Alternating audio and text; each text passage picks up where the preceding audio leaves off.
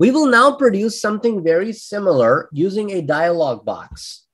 The dialog box are produced in Java with the help of a built-in class called JOptionPane. Notice the J uppercase, the O uppercase, and the P uppercase because they're three separate words. JOptionPane.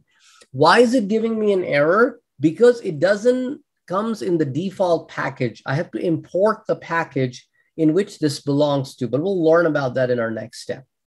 JOptionPane dot. So it gives me all the methods and everything available to me in the JOptionPane.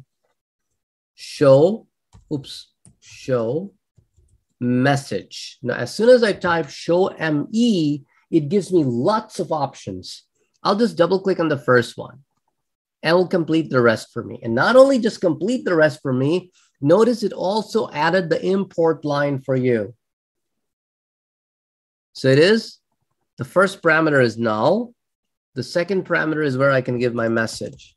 Hello world. And then simply run and you will see a dialog box like that. Between the word hello and world, use slash n and rerun the program. And you will see the word hello and world to be on two separate lines. So slash n works in the GUI environment, graphical user inter interface environment, as it works in the command line environment.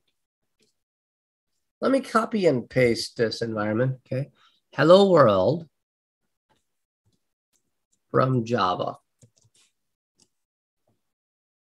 And now let's run this. You will see a dialog box, hello world. You click OK, now you see another dialog box coming right behind it.